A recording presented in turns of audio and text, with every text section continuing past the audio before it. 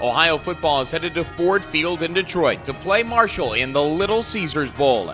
For tickets, call 800 575 CATS or visit OhioBobcats.com. Make the drive to Motown to see Ohio and Marshall in the Little Caesars Bowl.